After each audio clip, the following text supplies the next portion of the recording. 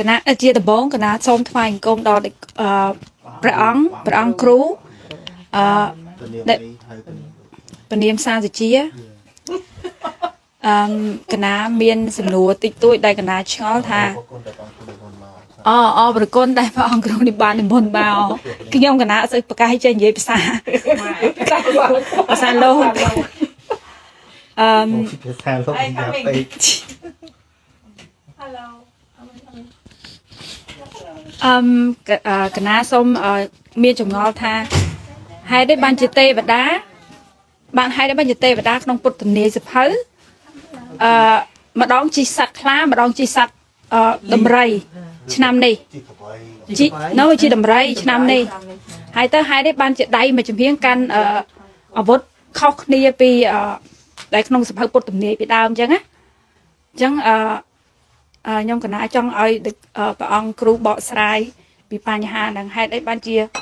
ឆ្នាំនេះមានការមានដៃមួយចំហៀងកាន់កភ្លើងខ្លីហេតុអីបានជាគ្រូគឺមានការទូទាយហោរាសាស្ត្រពីយើងមានផោះតាំងពីចំណុចណាមកដែលគេមានអឺដាក់រូបដែលថាមានការកាន់កភ្លើងហោរាសាស្ត្រទាយថាកាន់កភ្លើងមួយចំហៀងដៃមួយចំហៀងគឺកាន់អាវុធអីចឹងហើយទៅសោយហេតុអីបានជាគេដឹងហោរាសាស្ត្រហេតុអីបានជាគេដឹង ហើយដែលបានក្នុងសភៅពុទ្ធនីយពីដើមម្ដងជីខ្សាត់ខ្នាម្ដងជីសัตว์ដំរីឬក៏ខ្ញុំកណាខ្ញុំអត់សូវច្បាស់អីខ្ញុំសូមឲ្យព្រះគុណគ្រូជួយបកស្រាយសាធុកាន់កាន់តើអង្គគ្រូមិនដឹងទេអាហ្នឹងទេតាមបាទចេះហ្នឹងអាថ្មអត់ចេះដែរហ្នឹងអត់អត់ចេះអត់ចេះចប់ហើយយើងសួរជំនួសអីហ៎សួរអត់ចេះហ្នឹង សួរប៉ាដែលកូនអត់ចេះហ្នឹងសួរចាំឡើយអត់ចេះឥឡូវឥឡូវខ្ញុំកណាសូមសួរមួយសំណួរទៀតហ្នឹងសួររឿងអ្នកដែលចែកឋានទៅ នៅ ពេលដែលយើង បាំងស្គលតើដែលព្រះអង្គគ្រូគិតថាអ្នកដែលស្លាប់នោះទទួលបានឬអត់អាហ្នឹងអត់ដឹងអត់ដឹងទៀតបងគ្រូដឹងទេអត់ដឹងដែរ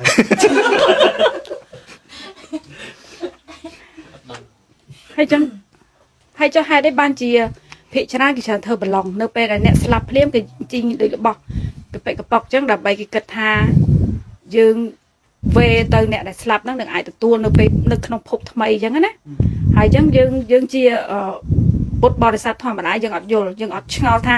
តើការដែលស្លាប់ទៅហ្នឹងណាអ្នកដែលស្លាប់ទៅហ្នឹងអាចទទួលរបស់ដែលយើងវេទៅបានឬអត់អាហ្នឹងកណាអត់ដឹងទៀតមកអត់ដឹងដែរប៉ុន្តែសូមទៀតណាអរគុណបងគ្រូអម ថ្ងៃនេះគឺបានណាមកចូលរួមជាមួយនឹងលោកម្ចាស់គ្រូវជ្របញ្ញោសានសុជាហើយអរគុណដែលបងគ្រូបាននិមន្តមកកាន់គេអដ្ឋានដ៏ថ្មីស្រឡាងអឺដ៏ស្អាតមើលទៅរចនាប័ទ្មដូចអង្គរវត្តអញ្ចឹងណាហើយកន្លែងប្រដាប់អង្គុយនេះក៏ស្អាតទៀត ណាហើយអរគុណសំណួរដែលបានលើកឡើងសួរប៉ុន្តែសំណួរហ្នឹងដោយច្រើនអឺអាត្មាអត់ដឹងអត់ចេះណាហើយព្រះអង្គគ្រូក៏ថាអត់ចេះដែរប៉ុន្តែចង់និយាយថារឿងបឡុងដែលថារៀបចំហ្នឹងដើម្បីឲ្យដល់អ្នកដែលស្លាប់ទៅហើយអញ្ចឹងណាតាមសភាពពិតអ្នកដែលស្លាប់ទៅហ្នឹងគឺ យើងនិយាយដោយសន្តានបញ្ញត្តិបានន័យថាដំណរដំណរដំណរយើងថាអ្នកនឹងត្រូវបដិសន្ធិទៀតកើតទៀតអញ្ចឹងប៉ុន្តែធម្មតាអ្វីដែលវារលត់ពាក្យថារលត់វាមិនដែលតទៅទៀតទេពាក្យថារលត់នោះបានន័យថាវាវារលត់អស់ទៅជាអតីតបានន័យថាវាលែងមានតទៅទៀតហើយ ចឹងរឿងសំណួរសួរថាតើបឡុងឬក៏អ្វីអ្វីដែលយើងរៀបចំហ្នឹងដល់ទេចម្លើយថាអត់ដល់អត់ដល់តែកូនជឿថាអត់ដល់មិនជឿមិនជឿគឺដឹងថាអត់ដល់ហ្មងព្រោះហើយបានដល់ដល់ថាមកពីអ្វីដែលយើងធ្វើហ្នឹងអ្នកដែលបាន គឺលោកនិងអាចារ្យនោះទេ That's what I think ណាអញ្ចឹងបានន័យថាយល់ចូលណាចូលចូល ដូចថាឥឡូវពុទ្ធបរិស័ទមករៀបប្រឡងហ្នឹងប៉ុន្តែដេគុណដេគុណដឹងថារបស់ហ្នឹងធ្វើអត់បានហេតុអីបានដេគុណមិនប្រាប់ពុទ្ធបរិស័ទថាថាអ្នកថារបស់ដែលញោមធ្វើហ្នឹងអត់បានដល់ទេ ពីព្រោះកណាគិតទៅមនុស្សអំភាកច្រើនគាត់គិតថារបស់នេះកណាខ្ញុំកណាឃើញណាដូចថាឥឡូវគាត់រៀបជាប្រឡងអីអញ្ចឹងសំបីកូនចៅក៏គាត់អត់ឲ្យប៉ះដែរពីព្រោះគាត់ថារបស់ហ្នឹងអាចទៅដល់ជីដូនជីតា Why don't you tell them like Yeah. stop doing that How do you know I tell them But they don't trust you. if you It's culture. It's like ប៉ុន្តែបើសិនតែយើងនិយាយថាអឺជា culture ជាប្រពៃណី yeah ជាទំនៀមទម្លាប់អាហ្នឹងធ្វើទៅវាបានប៉ុន្តែក៏សួរថាតើធ្វើទៅវាបានដល់អ្នកដែលស្លាប់ទៅទេគឺអត់ប៉ុន្តែសួរថារបស់ហ្នឹងប្រយោជន៍តែទេប្រយោជន៍អ្នកនៅរស់អញ្ចឹងអឺកណាសុំសួរថាចុះតែការដែលយើង វេចង្ហាន់ដូចជាយើងចាក់ទឹកជ្រោចទៅនៅពេលដែលសូត្រធរវេទៅអ្នកស្លាប់យ៉ាងកាញ់តើអឺអ្នកដែលស្លាប់ដែលយើងឧទ្ទិសឈ្មោះយេតិកាទាំង7សន្តានហ្នឹងតើគាត់អាចទទួលបានដែរឬអត់ឬគ្រាន់តែជាការសូត្រដើម្បីគិតថាវាជាការឧបកិច្ចជាអ្វីដែលយើងគិតថាវាជាប្រពៃណីខ្មែរយើងពីបុរាណដែលយើងគួរតែជាប្រពៃណីដែលយើងគួរតែធ្វើនៅពេលដែលថាយើងឧទ្ទិសកុសលដល់បុណ្យដែលឈ្មោះអ្នកដល់ដល់អ្នកស្លាប់យើងត្រូវ ឧទ្ទិសកុសលចឹងអ្នកអ្នកដែលស្លាប់ទទួលបានដោយថាយើងអ្នកខ្លះស្លាប់ទៅពេលខ្លះយើងអត់ដឹងថាគាត់ទៅចាប់ជាតិជាអ្វីជាប្រែតជាអ្វីយើងអត់ទាន់ដឹងជាមនុស្សឬក៏យ៉ាងម៉េចទេគាត់ថា អ្នកខ្លះគេគេជាជាថាអូខេដូចអឺអ៊ំចាស់ចាស់សម័យដើមគាត់ចេះគិតថានៅពេលដែលយើងបាំងស្គលចំពោះឧទ្ទិសកុសលនឹកឈ្មោះនឹកសម័យឃើញឈ្មោះមុខអ្នកដែលស្លាប់ចឹងទៅ អ្នកនឹងទទួលផលបុណ្យពីយើងដែលយើងឧទ្ទិសទៅឲ្យតើរិគុណគិតថា អ្នកដែលស្លាប់ដែលយើងឧទ្ទិសឈ្មោះទាំងអស់ហ្នឹងតើគាត់ពួកគាត់ទទួលបានដែរឬអត់ឬគ្រាន់តែជាការថាឧទ្ទិសកុសលតាមប្រពៃណីខ្មែរយើងពីបុរាណដែលយើងនិយាយតគ្នាថាហើយជើចេះទៅគាត់ដូចថាចាស់ចាស់ពីដើមគាត់ប្រាប់ចៅចៅអញ្ចឹងណាក្មេងជំនាន់ក្រោយឲ្យយើងធ្វើអ្វីដែលគាត់ថានេះយ៉ាងអញ្ចឹងអ្វីដែលខ្ញុំឆ្ងល់កណាឆ្ងល់ចេះមុនបងគ្រូ មិនមែនថាអត់ចេះនិយាយ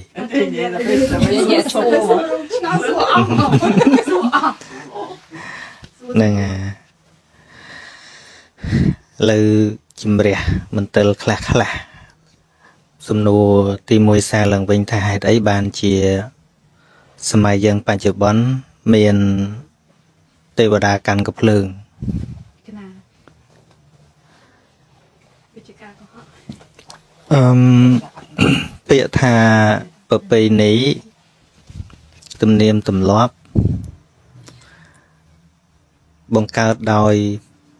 ចាស់ព្រឹទ្ធាចារ្យនៃជនជាតិនីមួយៗជួនកាលគេយករឿងពិតខ្លះរឿងប្រឌិតខ្លះអាហ្នឹងប្រពៃណីប៉ុន្តែសំខាន់គឺពួកគាត់ចង់ឲ្យមានជាបោះខ្លួនឯងប្រចាំជាតិសាសន៍នីមួយៗ ហើយក៏បង្កប់នៅការអប់រំនៅក្នុងនោះប៉ុន្តែបើពាក់ព័ន្ធនឹងប្រវត្តិរឿងរ៉ាវនៅក្នុងប្រពៃណីច្រើនតែជារឿងអក្សរសិល្ប៍ភាគច្រើនហ្នឹងហើយឧទាហរណ៍ដូចរឿងបកោបកៅអីចឹងវារបៀបអក្សរសិល្ប៍ប៉ុន្តែដល់យើងមិនមានការពន្យល់អីមែនទែនទៅជាមនុស្សកើតកូនគោអីមែនចឹងទៅអាហ្នឹងជា ជាជំនឿវាទៅជាជំនឿវាលែងទៅជារឿងអក្សរសិល្ប៍វាលែងទៅជារឿងអប់រំវាទៅជារឿងជំនឿរហូតដល់រាល់ថ្ងៃហ្នឹងគេថាបកោនៅយំឡើយនៅថៃនៅសៀមឃើញទេហ្នឹងហើយហើយក៏ចេះតែគោរពបូជាអីចឹងទៅដូចជាឆ្នាំទាំង12ហ្នឹងចឹងដែរសัตว์ទាំង12គ្នាអត់មានដឹងអីទេមានដឹងខ្យល់អីទេ ដូចឆ្នាំនេះយើងហៅឆ្នាំខាលពួកខ្លាក៏អត់មានដឹងតែឆ្នាំអញទេមែនទេហ្នឹងហើយមនុស្សគ្រាន់តែតែងឡើងអញ្ចឹងបើរឿងទាំងឡាយកើតឡើងដោយមនុស្សតាក់តែងឡើងដូច្នេះគេដូរបានតាព្រោះមិនមែនសច្ចធម៌ប៉ុណ្ណោះប៉ុន្តែសំខាន់ថាដូរដើម្បីអីបើដូរទៅវានាំឲ្យកើតការចម្រើនចាំដូរ តែបើដូរហើយនាំឲ្យមានការយល់ច្រឡំវាកាន់តែសាបវប្បធម៌ហ្នឹងមិនគួរដូរទេតាមយោបល់អាត្មាថាមិនគួរដូរឲ្យទេវតាកាន់កំភ្លើងទេប្រហែលជាឃើញពូទីនបាញ់ច្រើនពេកដឹកកូនគឺមានពុទ្ធិកាត្រង់និយាយរឿងស្នារឿងព្រួយនេះក្មេងលែងដឹងណាដែលគាត់ចង់អាប់ដេតតាមមើលហ្នឹងហើយប៉ុន្តែ ពាក្យថាវប្បធម៌ប្រពៃណីណា គឺត្រូវប្រើពាក្យអភិរក្សឲ្យច្រើន ហើយនឹងបញ្យលប្រពៃណីទំនៀមទម្លាប់វាពាក់ព័ន្ធនឹងកត្តាជាតិសាសន៍កាលណាយើងយើងយើងបដិរូបវាពេកបដិរូបមានន័យថាធ្វើឲ្យខុសរូបដើមកាលណាធ្វើឲ្យខុសរូបដើមវាគេហៅថាបាត់ពលឹងជាតិអញ្ចឹងណាវាបាត់ណាហ្នឹងហើយអញ្ចឹងបានបានដូចវត្ថុបុរាណអញ្ចឹងវត្ថុបុរាណខ្លះប្រាសាទបុរាណខ្លះ ជួនកាលនៅតែគ្រឹះជួនកាលនៅតែថ្មទេតែបើរសាវានៅដដែលគេនៅតែចង់មើលមែនទេទេហ្នឹងហើយហើយបើសិនជាយើងបន្ទប់អាគារទំនើបពីលើហ្នឹងណាគេណាវាបាត់ធាតុវាបាត់ដល់វាបាត់ទៅវាលែងជាវត្ថុបុរាណហើយអញ្ចឹងអឺមអាត្មាក៏មិនដឹងថាហេតុអីបានជាអ្នករៀបអឺចំសង្ក្រានហ្នឹងដាក់ទេវតា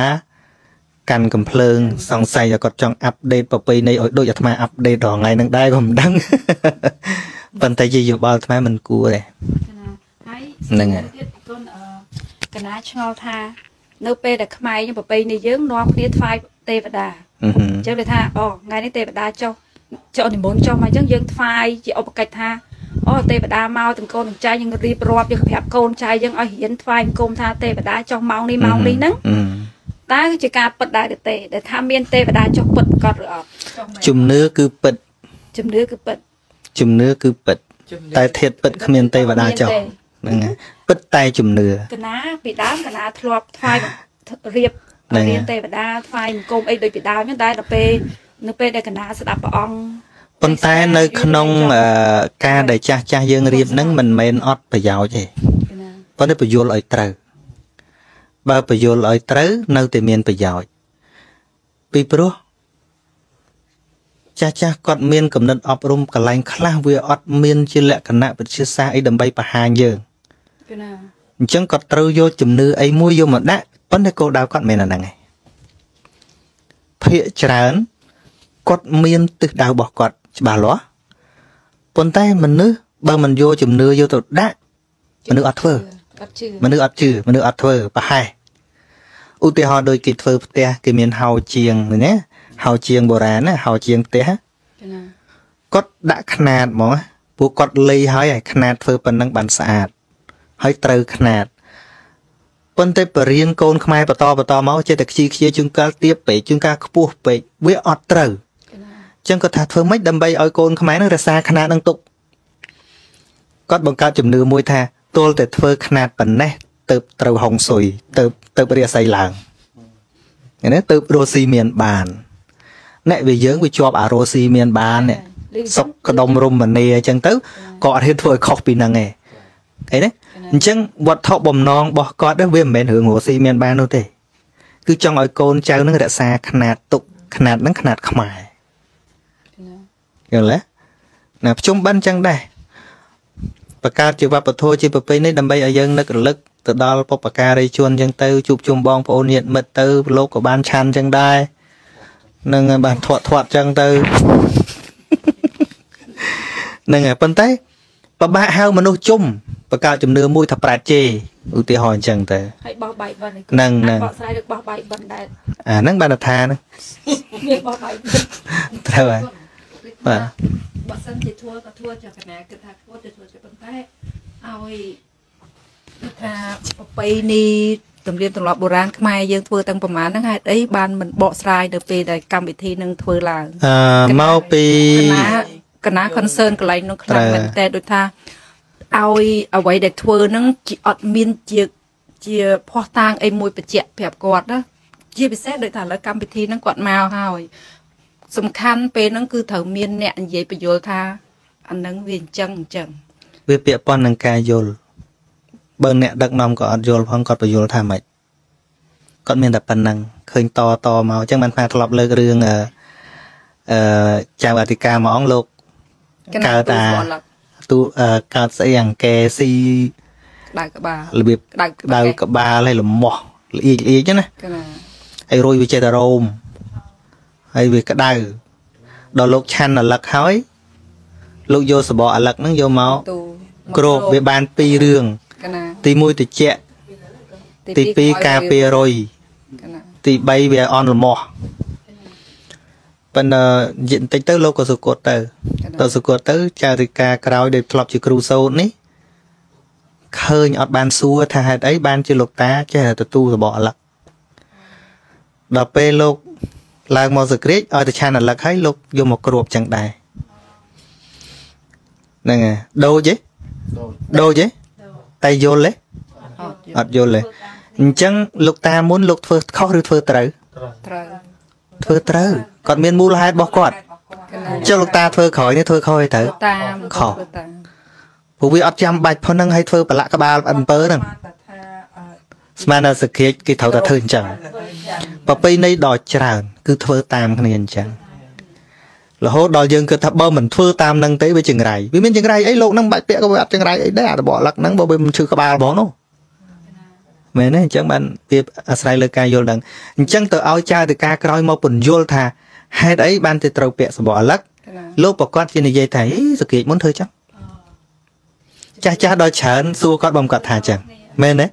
សួរចាស់ចាស់គាត់ធ្វើតតគ្នាអឺតាំងពីដូនតាមកគឺធ្វើទៅចឹងប៉ុន្តែមិនសួរថា why why នៅក្នុងប្រពៃណីក៏វាមាន reason នៅហ្នឹងវាមាន reason របស់វា why ចេះក I ណា actually think they actually believe it. ត្រូវហើយវាហួសពីប្រពៃណីវាទៅជាជំនឿ They actually really believe that Mhm. it happens. That's why we done it. ហើយរឿងមួយទៀតរឿងបន្លងយើងហៅប្រឡងប្រឡងហ្នឹងហើយណាយើងហៅ អឺភាសានេះឯងប្រឡងប៉ុន្តែពាក្យត្រូវគឺបន្លងបន្លំបន្លងជា noun ជានាមជានាមជាកិរិយាសព្ទគឺប្លង់ប្លង់អញ្ចឹងរបស់ដែលគេប្លង់គឺជារបស់ដែលគេយកទៅដាក់ពីចម្ងាយប្លង់ចោលប្លង់ចាហើយលោកជួនកាលពីដើមលោកបាំងស្គូលអីចឹងទៅណាណារបស់ប្លង់អញ្ចឹងតាប៉ុន្តែវាមានហេតុផលអញ្ចេះត្រង់ថាអ្នកធ្វើដំបងអត់ខុសទេ កណាយល់កណាអត់ខុសទេហើយសម័យពីដើមវត្តនៅឆ្ងាយប្រសង់នៅឆ្ងាយអឺមដល់ចឹងទៅមានអ្នកឈឺអីចង់មុនលោកមកធ្វើទៀនអីវាពិបាកឃើញទេដល់ចឹងទៅគេរៀបគេរៀបរបស់ហ្នឹងយកទៅប្រគេនលោកប៉ុន្តែឲ្យអ្នកឈឺនឹងឃើញឲ្យតាំងចិត្តថាអ្នកអ្នកម្ដាយបងស្រីបងប្រុសឬក៏កំពុងឈឺហ្នឹងណាសូមអ្នកម៉ែអ្នកបងអឺ អឺត្រេកអរនឹងទៀននេះខ្ញុំយករបស់ហ្នឹងទៅប្រកេនប្រសងឲ្យហើយបងតាំងចិត្តថាដូចបានធ្វើខ្លួនឯងចឹងរបស់ដែលគេធ្វើទៀនពីចងាយហៅថាប្លង់ប្លង់ពីចម្ងាយកណាប៉ុន្តែវាហៅថាបន្លងទៅជានាមឃើញទេដូច្នេះរបស់ហ្នឹងមានប្រយោជន៍មិនមែនក្រោយគាត់ស្លាប់ទេ មានប្រយោជន៍គឺគាត់ពេលគាត់ឈឺហ្នឹងគាត់មិនអាចទៅខ្លួនឯងបាន ដូច្នេះសាច់ញាតិហ្នឹងរៀបចំបដាបដាទាំងអស់ហ្នឹងយកទៅប្រគេនជំនួសឲ្យគាត់ត្រេកអរថាគាត់បានធ្វើទានមុនពេលគាត់លាចាកលោកអញ្ចឹងរបស់ហ្នឹងអត់ខុសទេពួកគាត់ទៅអត់កើតឃើញទេគាត់ទៅអត់កើតទោះបីជាគាត់ឃើញអញ្ចឹងឃើញហើយយើងថាយកទៅប្រគេនអញ្ចឹងយើងមិនតន់យកប្រគេនក៏ដោយគាត់បានស្លាប់ប៉ុន្តែចិត្តគាត់ជ្រះថ្លាហើយហើយឃើញទេជ្រះថ្លារួចហើយគាត់បានតាំងចិត្ត ជ្រះថ្លារួចហើយរួចទៅយើងយកទៅប្រគេនលោកមិនមែនយកទៅបញ្ជូនទៅទៀតគ្រាន់តែធ្វើការងារហ្នឹងឲ្យសម្រេចការងាររបស់យើងដែលធ្លាប់សន្យាមួយគាត់ទៅប៉ុណ្ណោះឯងតែកុសលដែលឧបត្ថម្ភគាត់នោះមិនមែនកុសលក្រោយពេលដែលយើងយកទៅនោះទេ គឺនៅពេលដែលគាត់តាំងចិត្តជ្រះថ្លានោះឯងប៉ុន្តែដល់យូរក៏មកជារឿងជំនឿថាបើមិនហ្នឹងហើយអត់មានអីអឺចាយតាមផ្លូវមែនទេចាតាមប្លង់ចុះមិនក៏ក្តៅមែនចង់លត់ ហ្នឹងហើយហ្នឹងនៃមួយយ៉ាងនៃមួយយ៉ាងទៀតវាមិនពាក់ព័ន្ធជាមួយនឹងអ្នកស្លាប់ទេគេអនុគ្រោះចំពោះព្រះសង្ឃដែលបាំងសុគលប្រព្រឹត្តបាំងសុគលកង្កៈទុដងព្រោះភិក្ខុសង្ឃអង្គខ្លះលោកមិនមិនទទួលអឺការបដិជីវរទេហ្នឹងហើយលោកដើររើសពីគំនោសម្រាមពីអីហ្នឹងដើម្បីលោកអត់ជាប់ជាពាក់រឿងរបស់គេប្រកេនទេអញ្ចឹងទៅបរិស័ទខ្លះមើលទៅដូចអាណិតលោកហ្មងអញ្ចឹងគាត់យករបស់ទៅប្លង់ចោលធ្វើដូចរបស់បោះចោលព្រោះពាក្យថាបាំងស្គលគឺទៅយកអារបស់ដែលគេចោលឃើញទេអាហ្នឹងក៏បន្លងដែរជារបស់ដែលគេប្លង់ចោល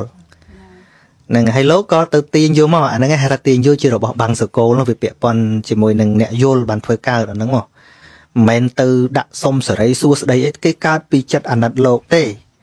អ្នកដែលយកទៅប្លង់ចោលហ្នឹងមិនមែនដាក់យកសេរីសួស្ដីប្រតិកម្មពីអីទេមិនមែនទេកណា គេឃើញលោកដើររើអារបស់សៅមងអីអីចឹងអូដល់អាណិតលោកដល់ព្រោះប្រកេនលោកផ្ទាល់លោកអត់យកព្រោះលោកលះអាការជាប់ជាពាក់ណាអញ្ចឹងគេទៅប្លង់ចោះជាងការគេទៅកប់ក្រោមសម្រាមហើយគេគេឲ្យអាជាយកណាត់ហ្នឹងលេចមកបន្តិចឲ្យលោកឃើញហ្នឹងធ្វើដូចជារបស់បោះចោលនៅក្នុងកំណោសម្រាមកំណោស្លឹកឈើអញ្ចឹងណារបស់ដែលគេចោលអញ្ចឹងណាប្លង់ចោលអញ្ចឹងហៅថាបន្លងដែរហ្នឹងបន្លងមួយយ៉ាងទៀតប៉ិនបន្លងយើងរាល់ថ្ងៃគឺអាទី1ដែលអាត្មានិយាយ តែវាទាំងពីរហ្នឹងអត់ចូលក្នុងន័យណាមួយទាំងអស់រាល់ថ្ងៃហ្នឹងវាคล้ายទៅជាជំនឿថាដាក់ឲ្យចាយតាមផ្លូវទៅហើយនឹងបើយើងវេកទៅរកអត្តន័យដើម គឺមានអត្តន័យគ្រប់គ្រាន់អាចទទួលយកបានតែហេតុអីបានគេធ្វើអញ្ចឹងគេមានហេតុផលរបស់គេឥឡូវយើងនិមន្តលោកឆាកមហាបាំងស្គូលអីអត់មានរឿងអាណិតលោកទេ ចង់រួចចង្រៃតាមែនទេដោះគ្រោះតើរឿងខ្លួនឯងសោះ គេធ្វើពីដើមអារបស់ហ្នឹងគេធ្វើអាណិតលោកគេអនុគ្រោះលោកអញ្ចេះទេហើយលោកក៏មិនបានទៅសូត្រធោឲ្យយាយតាណាដែរអត់មានទេទៅដល់ឃើញអញ្ចឹងក៏ទាញយកទៅអឺរបស់នេះគេបោះចោលយកទៅប្រើទៅអាការយួរអញ្ចឹងបានហៅថារបស់បាំងស្គលមែនតើបាំងស្គលមានន័យថាទៅយករបស់ណាដែលគេឡើងត្រូវការឡើងមានម្ចាស់នឹងអញ្ចឹង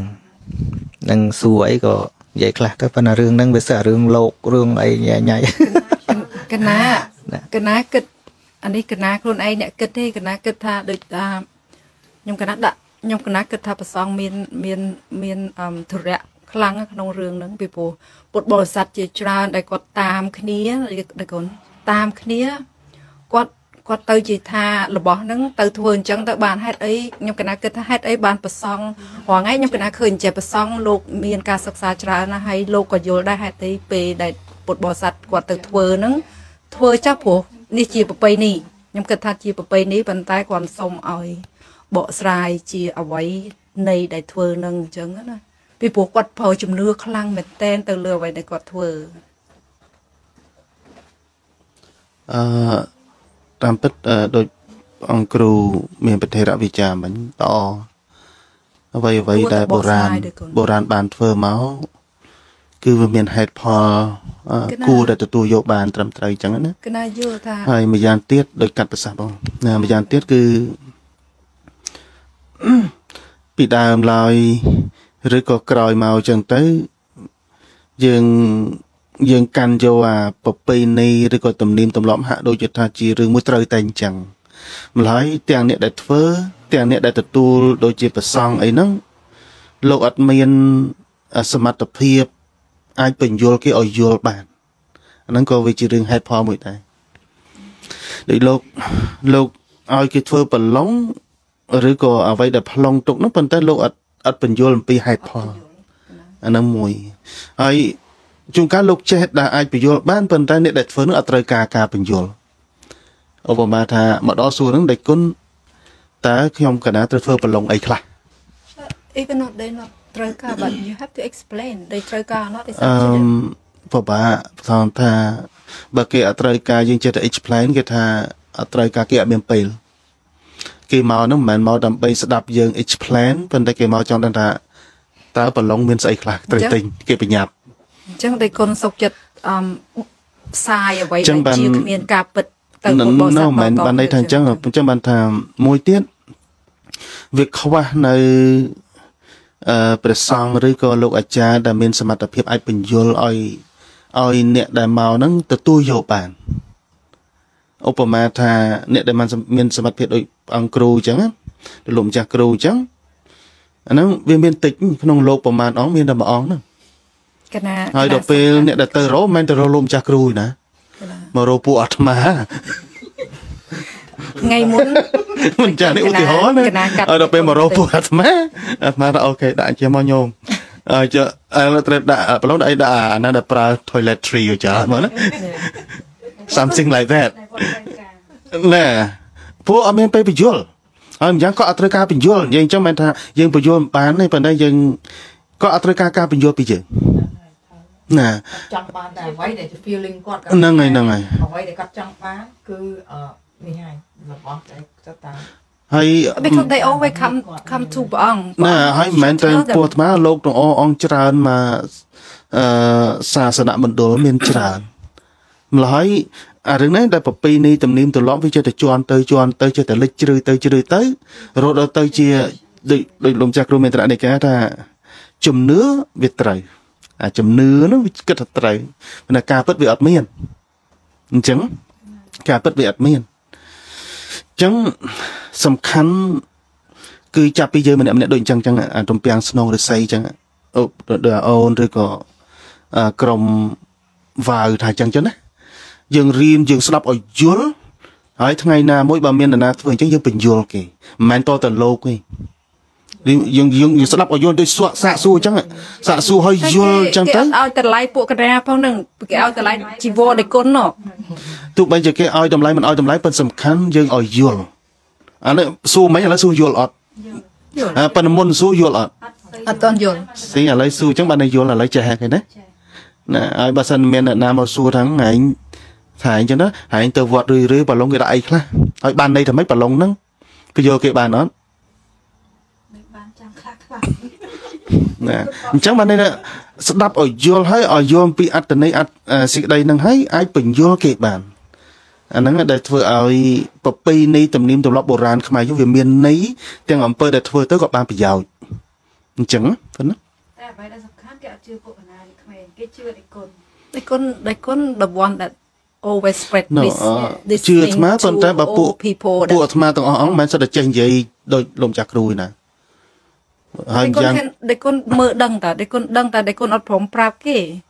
ដូចដូចជាការកុហកណា Yeah, that's that you just keep lying, lying to all whatever who coming. I just lying to them because they don't want to listen. especially grandma sure grandma កណាកណាកណាថ្ងៃមុនថ្ងៃចូលឆ្នាំខ្មែរដែលកូនកណាមុនទៅអកណាមុន sorry កណាទៅវត្តអឹមមួយកន្លែងទៀតហើយកូនហ្នឹងគាត់ទឿនហើយព្រះអង្គព្រះអង្គគាត់ និមន្តប្រោះទឹកប្រោះអីចឹងណាហើយគាត់សូត្រអីចឹងទៅហើយកូនកណាដាក់កណាមួយប៉ោកចំដូចឲ្យភ្ញាក់ខ្លួនឯងគាត់អង្គុយចាំថាចង់ឲ្យទៅផ្ទះហើយកណាអង្គុយនៅនឹងថ្វាយអង្គមសុភះលោកឲ្យលោកប្រោះទឹកប្រោះអីចឹងណាគាត់ចាំយូរពេកក៏គាត់សួរចេញមកពេកគាត់សួរថាម៉ាមី why you sitting there ស្ពះលោក for do you understand why you do that one for គាត់ណាថា I don't even understand what that mean and then he said if you don't understand why you have to listen to him បកប្រែផងអ្នកខ្លះគេថាអត់យល់និយាយរឿងអីឃើញអ្នកខ្លះថានិយាយរឿងអីថាអញ្ចេះអឹមកណាហ្នឹងទៅលិតអ่าថ្វាយបង្គំលោកហើយលោកក៏ដូចថាសូត្រធម៌អីបន្តិចតួចចឹងហើយលោកប្រោះទឹកហើយកូនហ្នឹងគាត់នៅចិត្តគាត់នៅចិត្តគាត់អង្គុយចាំក្មេងគាត់ទឿនចង់ចេញទៅផ្ទះតែកូន ដល់អញ្ចឹងទៅគាត់គាត់ចេញមកវិញគាត់សួរគាត់សួរថាម៉ាមី what's the monk was saying what the monk ដូចថាលោកហ្នឹងកំពុងនិយាយអីគេមិញហ្នឹងហើយកណាក៏ឆ្លើយវិញថាម៉ាក់អត់ដឹងទេអត់ដឹងថាសោតនឹងនិយាយថាម៉េចទេហើយហើយគាត់ក៏ថាចុះបើម៉ាមីអត់យល់ផងម៉ាមីអង្គុយនៅនឹងធ្វើអីហើយកណាគាត់បកប្រែវិញថានឹងជាខ្មែរទលាមទម្លាប់របស់ខ្មែរយើង is មិនមែនជាការប្រោះអីដើម្បីឲ្យសុខសប្បាយអីទេពីព្រោះគាត់ឃើញអឹមលោក I គ្រូ think it's more like a respecting. Yeah, that's what that's ខ្ញុំនិយាយ Yeah You keep it to yes. yourself. ហើយខ្ញុំក៏ប្រាប់គាត់យ៉ាខ្ញុំប្រាប់គាត់ថានឹងជាការគោរពដែលប្រសង់ដែលមកអញ្ចឹងយើងត្រូវធ្វើអញ្ចឹងទៅបាទគាត់ឆ្លើយមកវិញគាត់ថាវាគ្មានអីចាំបាច់ដែលយើងត្រូវអង្គុយនៅនឹងអត់យល់ គាត់ថាអត់យល់អីទាំងអស់ហេតុអីបានអង្គុយនៅនឹងមិនបានអង្គុយនៅនឹងតើតែយល់ដូចដូចកាត់ធម្មតាអ្វីដែលយើងយល់បានវាតតែយើងស្ដាប់ហើយស្ដាប់នៅភាសាដែលយើងស្ដាប់បានប៉ុន្តែប៉ុន្តែ that's how we all sitting listen to លោកសោត like bla bla bla bla មួយម៉ោងអញ្ចឹងឧបមាដូចជាអនិអត់មានដឹងអីទាំងអស់សង្ខារាអីចឹងដល់ទៅវត្តហ្នឹងចាប់ពេលដែលលោកចឹងបានប៉ុថាន្តែបងឯងអត់រៀនយើងអត់យល់ Yeah, It's but- like a language that I you know are but not- why you he keep spreading that language why don't you you can translate ដូចថានិយាយមកជាភាសាខ្មែរជប់ធរនឹងមានសម្រាយតាឥឡូវនេះតកូនសំដែងអឺពេលយូសូតសូតអង់គ្លេសមកចឹងដល់ពេលហ្នឹងកណាអាចស្ដាប់បានហើយ Is that what you say no but that's how you yeah you មិនចំពោះតែភាសាអង់គ្លេសទេសូម្បីតែសូត្រខ្មែរអ្នកដែលនិយាយខ្មែរក៏ស្ដាប់អត់យល់ដែរវាណាអត់ទេមិនមែនពាក្យបាលីទេប៉ុន្តែពាក្យឧបមាដូចពាក្យបឡុងអញ្ចឹងឥឡូវសួរថាពេលដែលដូចយើងមិនដែលប្រើពាក្យនឹង everyday យើងមិនយេដឹងថាខ្ញុំខ្ញុំហ្នឹងហើយយ៉ាងទីឧបមាថាពាក្យថាទេវតាហេតុអីបានឆ្នាំនេះទេវតាកាន់កំភ្លើងហើយទេវតាខ្លះជិះតម្រៃជិះអឺ ខ្លាឬក៏ជិះកបីអីចឹងហេតុអីហើយពេលហ្នឹងលោកមានពេលណាដើម្បីទៅបញ្យលឬក៏មានសមត្ថភាពណាទៅបញ្យលអញ្ចឹងវាអត់មានពេលណាហើយយើងក៏គ្មានសមត្ថភាពមានពេលណាដើម្បីមកអង្គុយស្ដាប់លោកអញ្ចឹងអត់ដល់អញ្ចឹងបើរឿងទេវតាហ្នឹងគាត់ណាថាចាស់ចាស់ពីដើមនិយាយរឿងដូចដូចរឿងវាអត់មានការពិតទេតែកូននិយាយទៅហ្នឹងរឿងហ្មងប៉ុន្តែដោយលោកម្ចាស់គ្រូមេត្រនិកាមិនចឹងថាអ្វីដែល បុរាណដែលដែលដែលលោករៀបចំមកនោះវាមានអឺចំណុចនៃការអប់រំចំណុចនៃការអប់រំឧបមាដូចថាឥឡូវជាឧបមាថាដូចបងថាហ្នឹងហើយយើងស្ដាប់អត់បានប៉ុន្តែយើងបញ្យល់ថានឹងប្រពៃណីទំនៀមទម្លាប់ហើយម្យ៉ាងទៀតយើងអង្គុយចឹង the showing the the kind of respect ត្រូវអានឹងឯងសំខាន់ណាពីព្រោះកណាចេះហើយជាឧបមាថាបើសិនតែយើងស្ដាប់អត់យល់អញ្ចឹងទៅយើងទ្រាំតិចសិនទៅ ហើយពេលណាដែលមានឱកាសពេលវេលាល្អនាំកូនទៅសួរទៅសួរអ្នកដែលឆ្ងល់ថា why you are sitting here listen the monk chanting and you did not understand it why and take them to see the monk who chanting and ask them to explain that's that កណាប្រាប់គាត់អញ្ចឹងដែរហ្នឹងកណាប្រាប់គាត់ថាបើចង់ដឹងខ្លួនឯងមានពេលខ្លួនឯងទៅជួប ហ្នឹងហ្នឹងហ្នឹងហ្នឹងដូចថាញយញយទៅស្អិនសួរលោកគុណថាមិនបានសូត្រធម៌ហ្នឹងខ្ញុំកណាប្រាប់គាត់ថាហ្នឹងសូដូចត្រធលោកម៌ចាស់គ្រូលើកអំពីលោកអាចារ្យតិកាដែលចេះថាអេះប្រកេះមិញអញ្ចឹងតែពិតលោកលមាស់ប៉ុន្តែកណាស្ដាប់ភាកច្រើនទៅដូចដូចពាក្យដែលបកស្រាយហ្នឹងវាអត់បានក្បោះក្បែកហើយកណាគិតអញ្ចេះទៀតដូចថាបើសិនជាមានទង្វើនឹងជាញយញយខ្ញុំកណាជឿថាក្មេងជំនាន់ក្រោយគឺបាត់អស់ហើយណា រឿងហ្នឹងធ្វើម៉េចបើវាអញ្ចឹងគាត់ថា វាមិនងាយអត់នឹងចូលទេពីព្រោះកូនក្មេងគាត់ទៅគាត់គាត់ទៅគាត់ដូចដូចកណាទៅនិយាយមិនអញ្ចឹងថាគាត់អត់មានអ្នកណាគេ explain ហ្នឹងហើយដូចថាអត់មានអីឲ្យជាតាងឲ្យគាត់ថាត្រូវគាត់មកកន្លែងហ្នឹងព្រោះក្មេងគាត់គាត់យកគាត់យក like ដូចជាអ្វីដែលរឿងជាដូចជារឿងពូនភ្នំខ្សាច់ភ្នំអីអញ្ចឹងសិតតែមានប្រយោជន៍កណាយល់ពូនភ្នំសាច់ក៏មានប្រយោជន៍ដែរយល់នៅតែមិនយល់ត្រៃត្រៃហើយ ណាមុនលោកម្ចាស់គ្រូទៀតណាណាអស់សួរណាតើហ្នឹងហើយសួរម្ដងទៅណាអឺជាដំបូងខ្ញុំសូមថ្លែងគុំអឺលោកម្ចាស់គ្រូសានសុជាបាទហើយនឹងអឺលោកម្ចាស់គ្រូអឺអឺអឺផលីយ៉ាដែលអញ្ជើញមកអឺដែលមុនមកយ៉ាសម្រាប់អឺការធម្មកច្ឆាយុគនឹងបកស្រាយខ្ញុំ កណាអត់មានសំណួរឲ្យសួរទេប៉ុន្តែគ្រាន់តែស្ដាប់បងបងគាត់សួរមិញហ្នឹងក៏ខ្ញុំកណាមានគំនិតខ្លួនឯងនឹកឃើញថាក្មេងជំនាន់ក្រោយហ្នឹង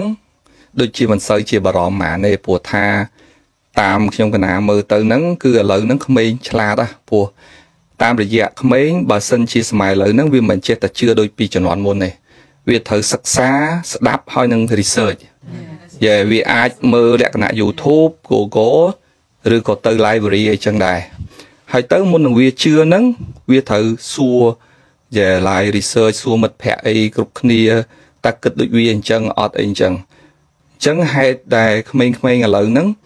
វាមុននឹងវាធ្វើអីហ្នឹងវាត្រូវសួរហេតុផលហ្នឹងក៏ជាគោលការណ៍នៃពុទ្ធសាសនាយើងដែរព្រះសម្មាសម្ពុទ្ធទ្រង់សម្ដែងដែរថារាល់ពាក្យតថាគតសម្ដែងហ្នឹងក៏មិនឲ្យអ្នកទាំងអស់គ្នាជឿដែរអ្នកគួរតែស្វែងយល់ហើយនឹងអឺដឹងដោយខ្លួនឯង យេអញ្ចឹងខ្ញុំកណាគិតថា បច្ចុប្បន្នយើងហ្នឹងគឺឥឡូវហ្នឹងយើងចាប់ផ្ដើមសិក្សាដឹងបដាបដាហើយมันមានជំនឿដូចមុតមមដូចកាលពីមុនដែលអវិជ្ជាចេះតាតាមដូចថាជំនាន់មុនតតគ្នា ធ្វើខុសខុសតាមគ្នាណា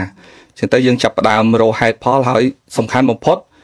មុននឹងយើងធ្វើអីហ្នឹងយើងត្រូវសួរហេតុហើយផលហើយយើងយកមកដកពិសោធន៍មើលថាតើ អ្វីហ្នឹងវាជាក់ស្ដែងដោយអ្វីដែលគេបាននិយាយមកអញ្ចឹងណាមានតែប៉ុណ្្នឹងទេអត់មានទៀតទេបាទមានអ្នកណាមានសំណួរអីទៀតសួរទៅចោះអញ្ចឹងអូខេចង់សួរចេះណាអេសួរតន់អង្គុយស្ដាប់អឺ Yes សួរអូខេចាំបាច់ឆ្លើយអីទៅតែ ពីការយល់ដឹងថាណាយាយខ្ញុំអឺកណាចង់សួរសំណួរមកមកសំណួរទីចង់សួរថា នៅពេលដែលអ្នកស្លាប់ទៅភ្លាមគេឲ្យដុតទៀនដុតទៀនដើម្បីបំភ្លឺផ្លូវទៅភពថ្មីហើយកណាចង់សួរថាវាជាការប៉ັດដែរទេនៅពេលអ្នកខ្លះគេថាហែងដុតទៀនឲ្យជាប់ហែងដុតធូបឲ្យជាប់នៅពេលដែលអ្នកស្លាប់ភ្លាមភ្លាមថ្មីថ្មីភពអ្វីល្ងឹតទាំងអស់អញ្ចឹងបែរថាគាត់មើលផ្លូវអត់ឃើញទៅភពថ្មីមួយទៀតឯងអញ្ចឹងកណាឆ្ងល់ថា ការដែលដុតទៀនបំភ្លឺផ្លូវអ្នកដែលស្លាប់ហើយនឹងការដែលដុតធូបឲ្យកុំឲ្យដាច់ជើងធូបកាលអ្នកដែលស្លាប់ទៅនឹងភ្លឺផ្លូវមើលឃើញផ្លូវមើលឃើញភពថ្មីដោយដែលអ្វីដែលចាស់ចាស់បុរាណបាន ប្រាប់តតគ្នាដែរឬទេនេះជាអ្វីដែលកណាឆ្ងល់ឆ្ងល់តាំងពីឪពុកបងម៉ៅគាត់បានចែកឋាន តែកណាចង់សួរថ្ងៃណាមួយកណាចង់សួរឲ្យដែលគុណបកស្រាយហើយ đây បានជាយើងត្រូវដុតទៀន ដើម្បីបំភ្លឺផ្លូវអ្នកដែលស្លាប់ថ្មីថ្មីដើម្បីដុតធូបឲ្យជាប់ញ៉ែនេះជាអ្វីដែលកណាឆ្ងល់ថាតើវាជាការពិតដែរឬទេនៅពេលដែលយើងដុតទៀនទៅអ្នកដែលស្លាប់នឹងអាចមើលឃើញភពថ្មីអាចឃើញផ្លូវទៅកាន់ភពណាមួយ That's it ណាសាធុណាអរគុណអឺចាស់គ្រូដែលផ្ដល់ឱកាសខ្ញុំណាហើយអរគុណណាសំណួរតាមពិតអាត្មារនឹកសួរអត់ឃើញចេះសួរមែនទែនល្អ អឺពួកធ្លាប់ឃើញគេអុជទៀនអុជធូបអីចឹងដែរប៉ុន្តែនឹកឃើញថាចង់យកកន្លែងហ្នឹងមកសួរក៏រនឹកមិនឃើញអឺចឹងនឹកឃើញមកសួរប្រកែហើយតាមដែលយើងសិក្សានិងយើងពិចារណាការពិតទៅអ្នកដែលអ្នកដែលស្លាប់ទៅហើយវាអត់មានត្រូវការភ្លើងទៀនឬក៏ភ្លើងធូបនឹងទៀតទេឧបមាថាយើងដេកលក់ត្រូវការ អឺត្រូវការភ្លើងឬក៏ត្រូវការទៀនធូបទេពងដេកលក់នោះមុននឹងដេកមុននឹងអានឹងត្រូវការភ្លើងដើម្បីបំភ្លឺស្អីស្អីហ្នឹងប៉ុន្តែដល់ពេលដេកលក់ហើយលែងត្រូវការអីហើយអ្នកដែលត្រូវការគឺអ្នកដែលនៅរស់ហ្នឹងទេណាយ៉ាងណាមិញដែលដែលកន្លែងស្លាប់ហ្នឹងឬក៏មានសពមានអីគេអុជទៀនអុជធូបហ្នឹងវាមួយយ៉ាងដើម្បីឲ្យភ្លឺចឹងទៅកុំឲ្យ អ្នកដែលរស់នៅហ្នឹងវាមានការហ្នឹងហើយពីមុនវាអត់មានអគិសនីហ្នឹងហើយវាអត់មានអាភ្លើងនេះពីមុនមកណាម្ល៉េះឲ្យធូបឲ្យទៀនទៅ ដើម្បីកុំឲ្យអ្នកដែលដើរចុះឡើងជួនកាលវាអាចមានអារម្មណ៍ខ្លាចជួនកាលដើរចំពុបអីដួលទៅលឺស្មានតែស្អីស្អីជឿតែមាន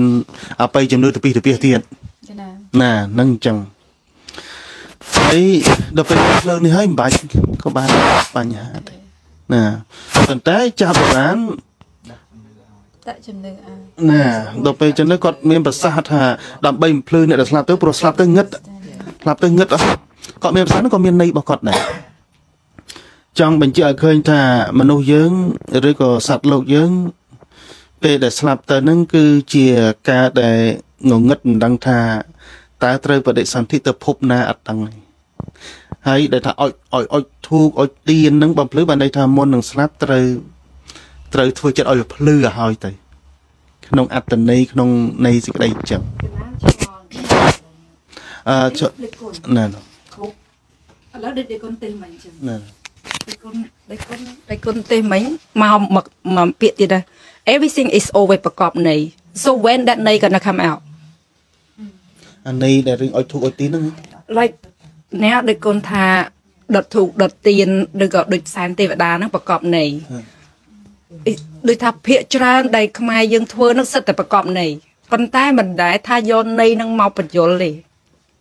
ឲ្យតែនិយាយមកថាអូអានឹងប្រកបនៃអានេះប្រកបនៃមានន័យថាអ្វីដែលបង្ហាញហ្នឹងគឺសិតតែអត់ពិតទាំងអស់នៅក្នុងហ្នឹងមានន័យនៅក្នុងនោះមានន័យ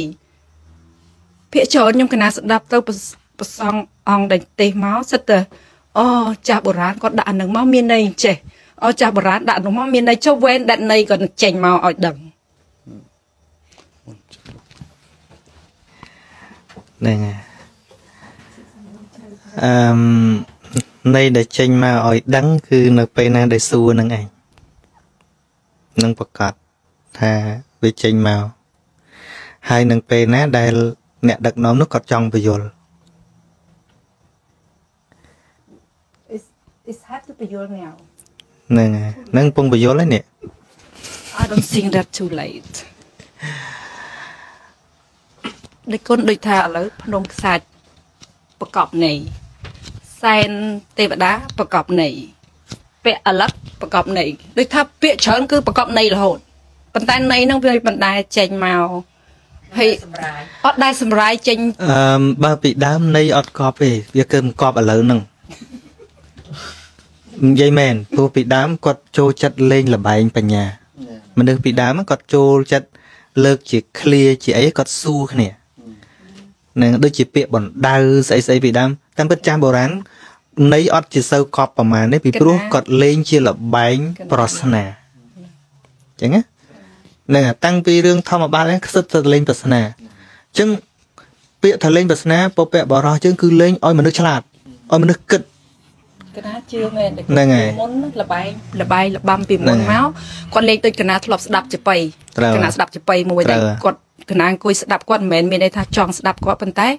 គាត់និយាយនៅក្នុងធម៌ហ្នឹងគាត់ជាងចបៃកណាគិតថាគាត់ឆ្លាតមែនហ្នឹងគាត់ជាងហើយគាត់សម្រាយនៅក្នុងចបៃហ្នឹងទៀតត្រូវប៉ុន្តែភាកច្រើនគឺគឺអត់និយាយចេញមកប៉ុន្តែអ៊ំចាំកណាលើកឃើញស្ដាប់ពុះខ្ញុំកណាស្ដាប់គាត់ទៅព្រោះដោយសារអីព្រោះដោយសារគាត់គាត់បញ្ចេញ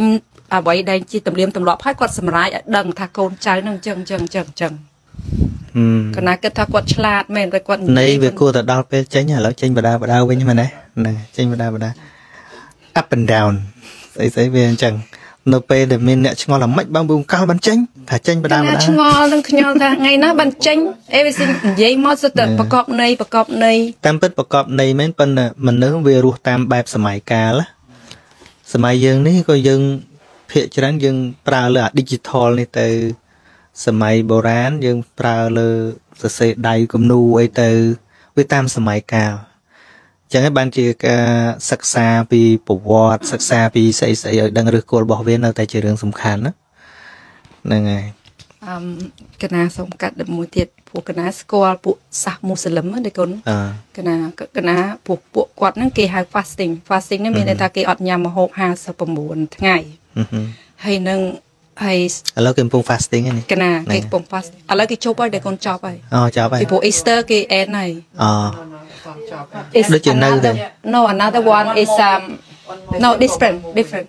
អ่าមួយទៀតហ្នឹងអឺពួកអឺពួកសាសនា fasting ដែរប៉ុន្តែផ្សេងគេហៅ orthodox orthodox job this week ប៉ុន្តែ no that's not muslim muslim is ma- muslim is ផ្សេងចាប៉ុន្តែកណាគាត់ទៅសួរក្នុងន័យដែលអ្វីដែលគេធ្វើកណាទៅដល់សួរគាត់ព្រោះកណាអឹម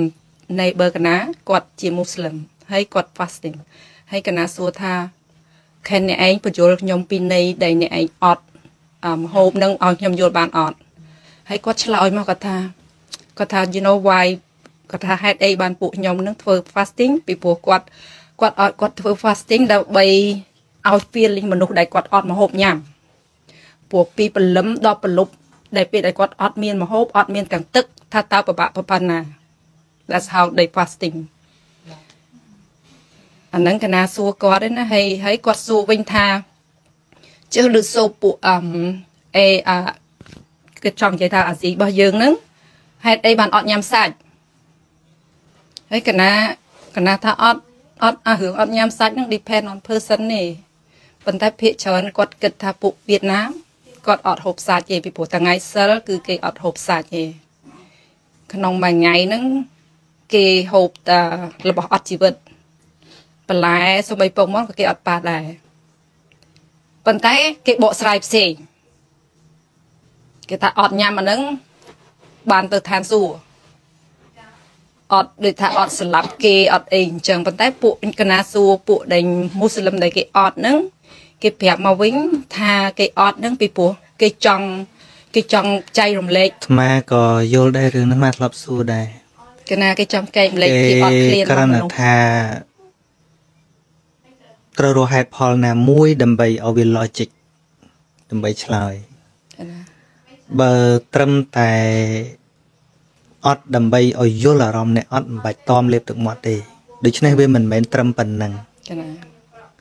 គេមិនមែនត្រឹមតែមិនហូបមិនផឹកទឹកនោះទេសំបីតែទឹកមាត់ក៏មិនលេបដែរកណាកណាអត់ចុះទេតែយើងមើលអត់អ្នកអ្នកអត់បាយកាហាយទឹកហ្នឹងគាត់អត់បាយមែនតែទឹកមាត់គាត់លេបគាត់លេងដូច្នេះវាមិនមែនត្រឹមប៉ុណ្ណឹងអានេះគេហៅថាកាត់ក្បាលតម្រូវមួកខ្ញុំចង់និយាយថាយល់ថាជាត្រូវនិយាយឲ្យ logic ចាណាកុំឲ្យមានការវាយប្រហារអីប៉ុណ្ណឹងទេហ្នឹងសួរអ่า ពួកគាត់ចឹងទៅថា fasting all day ប៉ុន្តែមិនក៏ល្ងាចញ៉ាំ everything ណាអញ្ចឹងបានថាហ្នឹងមហូបច្រើនវាពាក់ព័ន្ធនឹងជំនឿធំបំផុត គឺពាក់ព័ន្ធនឹងជំនឿសាសនាខ្ញុំគណៈប៉ុន្តែគេ take advantage ពីនឹងដើម្បីឲ្យវាមិនលម្អគេចែកទានដែរថ្ងៃពេលហ្នឹងហ៎ពេលនេះចៃទៀនតែប៉ុន្តែធំបំផុត គឺព្រះធំបំផុត គឺព្រះទេមិនមែនធំបំផុតអ្នកក្រទេធំបំផុត គឺព្រះហ្នឹងហើយព្រះប្រាប់អញ្ចឹង ប្រាក់ប្រាក់ចាណាធ្វើដើម្បីបូជាព្រះប៉ុន្តែនិយាយសម្រាប់សហគមន៍គេគេអត់ពិបាករកពាក្យនិយាយទេប៉ុន្តែបើយកមកបញ្យលយើងយើងវាអត់យល់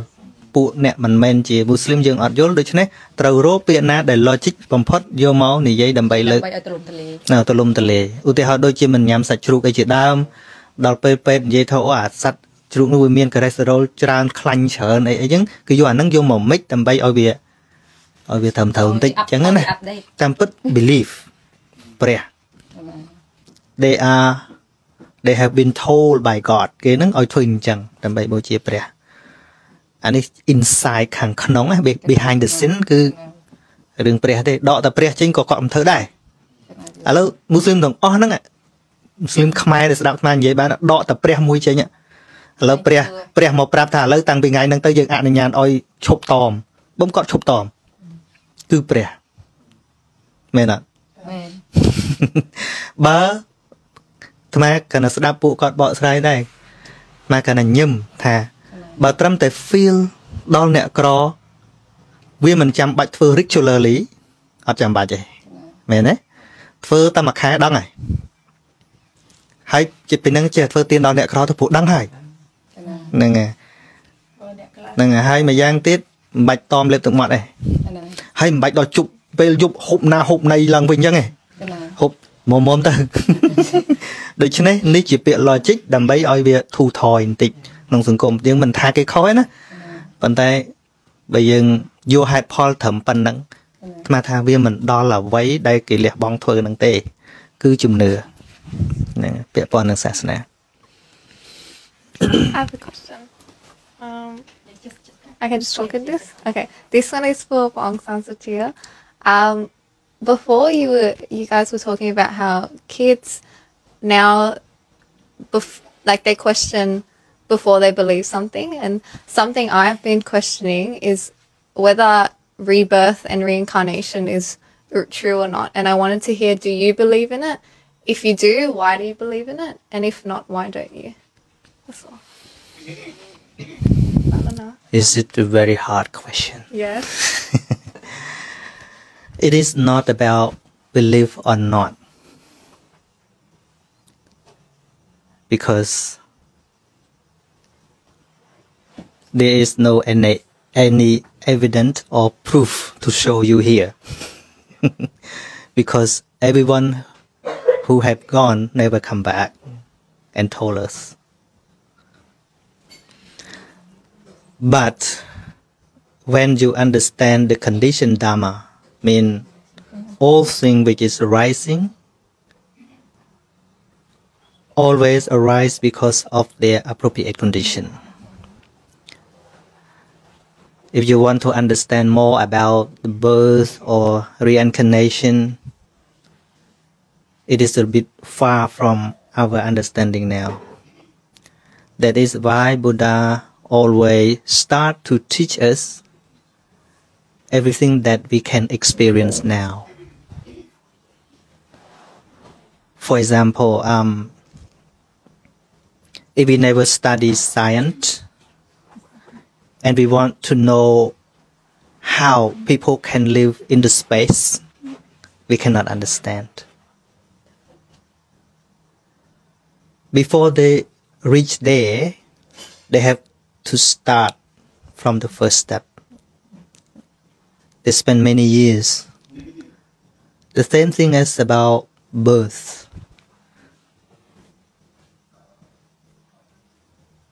The fundamental or the basic is not about birth and death. It's the reality that we can experience now. If one can experience, can understand the reality which are arising through the six doorways, little by little, they also can understand what will happen after die because they understand now. If we don't understand reality now, we also cannot understand what happened tomorrow. Like science can't predict the weather tomorrow or after tomorrow, rain or not. But those who never study science cannot. No one can go to the future. They are now, but they can know what happened in the future. Start with understanding everything now. The journey of the earth, the journey of something now. So I cannot explain or cannot make you understand what happened after die. But I know how to make you understand, but have to start from the beginning. Study from everything which is arising now. For example, now you are looking at me, right? Your concept always think you are looking at me. But in the reality, no, there is no you, there is no me. It is just the elements which arise because of the appropriate condition, like seeing. Seeing, Pali term called Vinyana. Seeing. Is it real? Seeing now. Do you see now? Do you see me now? I think so. Is it real? I think it is. Yeah. Seeing is real. You see me or see something else? You? You see me as Sansuji, right? Yes. Yeah, Sansuji is not real. Sansuji is just a name. If no one told you he is Sansuji, you don't know my name. Sansuji is just a name, not the reality. You see only the visible object. Start from here, from there, from hearing, from seeing, from smelling. And seeing is not you. Seeing is seeing. Seeing arise because appropriate condition. You have eyes, you have uh, visible objects, you have light, you have, and you focus on what to see. Then, when it comes together, make seeing happen, and then falls away. If the light is off, you cannot see. Birth and death are also Dharma, uh, uh, Sankhara Dharma, mean condition Dharma. When there is appropriate condition, the birth arise. Like your birth now. You did not create your birth. But it come from their condition. It's hard to explain, right? But it is true. You have to, to look for the start point. Birth and death is not the basic.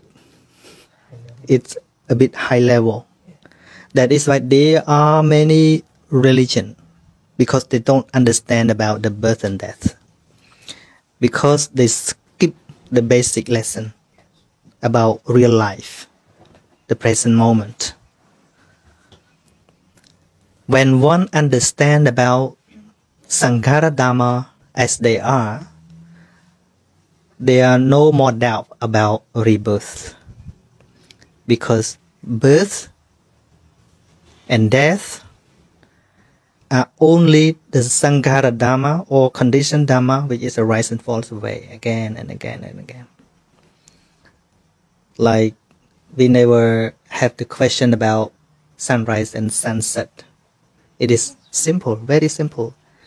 Setting the sunset today,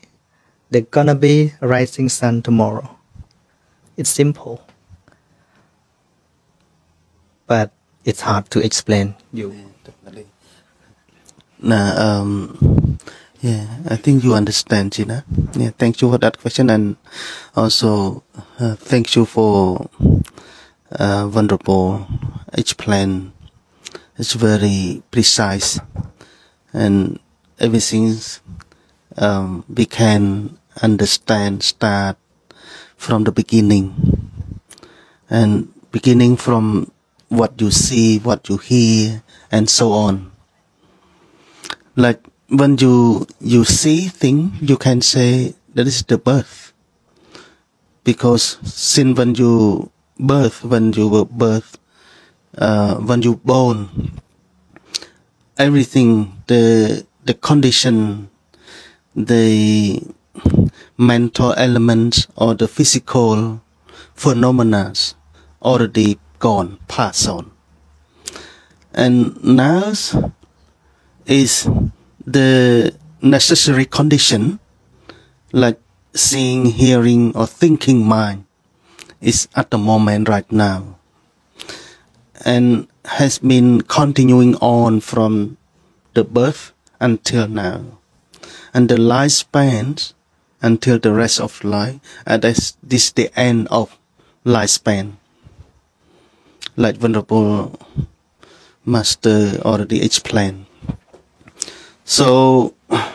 according to the study, uh, if we consider about the birth or the life hereafter, the reincarnation or transmigration or rebirth,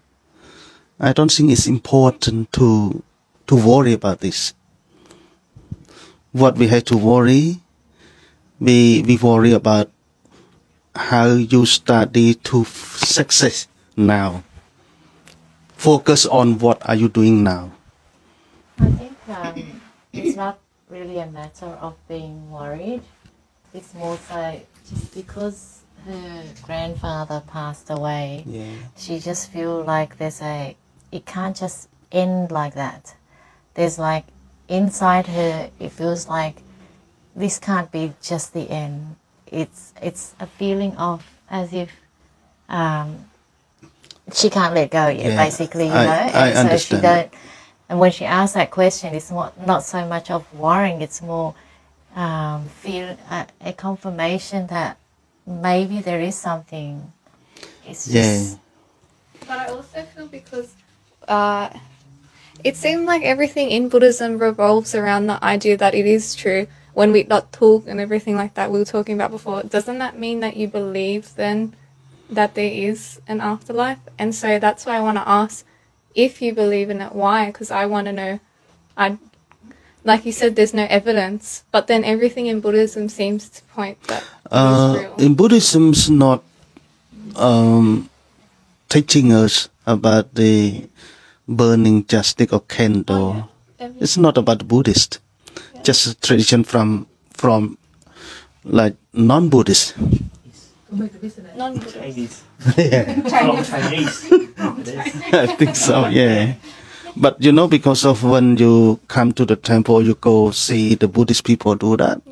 and then you refer as a Buddhist uh, tradition or Buddhist teaching. But in reality, Buddha never taught us. Uh, after you die or when you go to see people die, you don't forget to burn the stick or the candle. If you do forget that, is you are not a good Buddhist. No.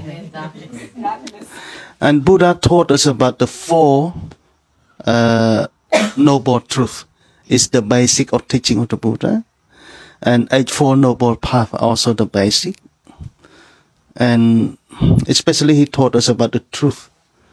and what is the cause of the suffering, and the cessation of the suffering, and way lead to the cessation of the suffering. That is the main, the core teaching of the Buddha.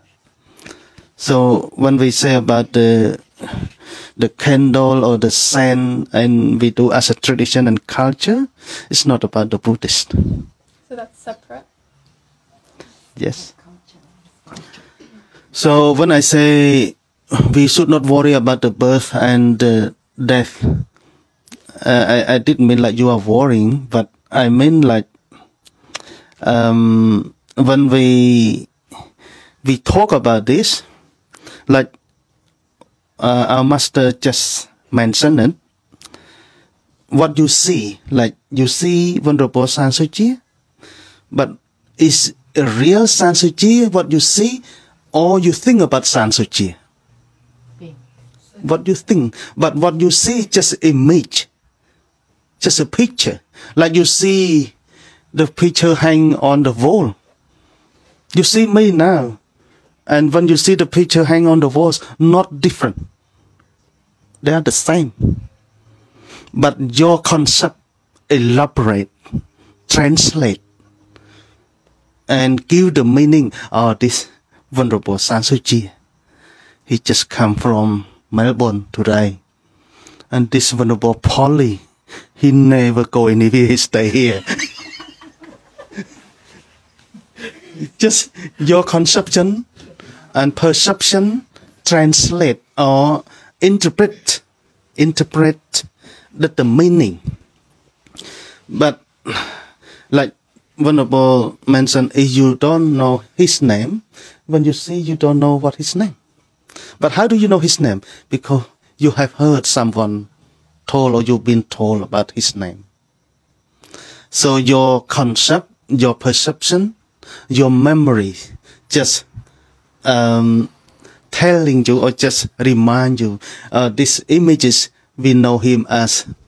Venerable Sansuchi. So where is Sansuchi then? Just you thinking about Sansuchi. So I said this like your grandpa passed away. So where your grandpa then?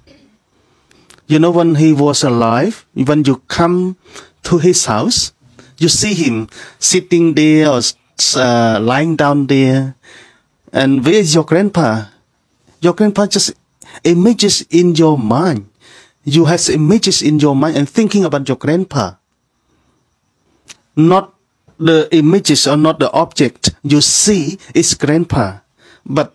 your conception is created your grandpa on your own mind, in your own consciousness. So when you think about he passed away, he's really passed away or not? That is the question. Like I said, the, the image you see like now, and when you see the picture who hang on the wall, it's not a different, the same. But because you think your grandpa passed away, that is why you end up in your mind that, oh, he's gone. I just give you example. If you have your friend live in USA and you are here, or your brother and sister, just example, okay? And your brothers or sister living in USA um, doesn't know your grandpa passed away, but you here know, and then you didn't tell them our grandpa has passed away. Does he know he passed away? He did not know. Unless you tell them. You tell them, ah, our grandpa has passed away. And then when you tell them just the word, the word you tell them and their perception translate and elaborate the meaning, oh, he already passed away. But if you don't tell them, they don't know.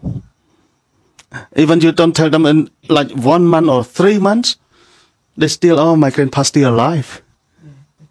You know what I mean? So, pass away or living is just in our state of mind.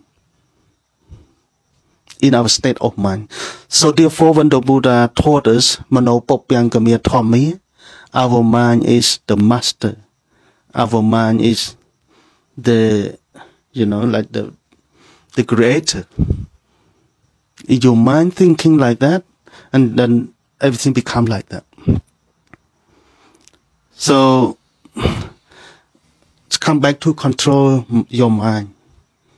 If you control your mind, control your conception, perception, that is how to control, how to understand the life right now. You know, when, when you were just born, you didn't know anything. Do you remember when you just born? Can you see clearly? No. Can you hear clearly? No. Until the the our physical body become more mature. So seeing had to rely on the body maturity, physical maturity. Hearing also depend on the like the ear maturity, and then you can hear. Also rely on the memory you have studied, you have learned, and then can elaborate in your consciousness, in your mind, in your we call vijnana in Dharma term. So that's why I said don't need to worry about the birth and the rebirth. But what we worry, if you are sleepy, go to sleep. If you are hungry, go to cook or go to have something to eat. If you're thirsty, find something to drink. Uh, when you try, what you worry, you are in the speed limit or not, or you. Maybe I talk too much. I'm sorry about that, but I just want you to focus in the present moment. That's what the Buddha taught. Do not worry about the past, and don't worry about the future, but focus in the present moment. That's what the Buddha taught. អតីតតាំងនានវាកមី something like that ណាសូមអរគុណអរគុណ